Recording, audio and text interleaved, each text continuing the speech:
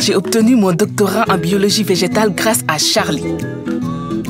Il y a deux semaines, je regardais une dernière fois le soleil se coucher sur la Méditerranée. Au printemps, notre directeur de thèse nous a amenés sur le terrain. Dehors, il fait beau, mais je passe mon temps au labo. Il y a six mois, Charlie montrait enfin le bout de son nez.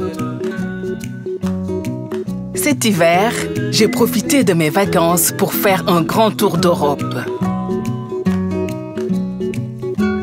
Il y a un an, j'arrivais en France pour mon doctorat.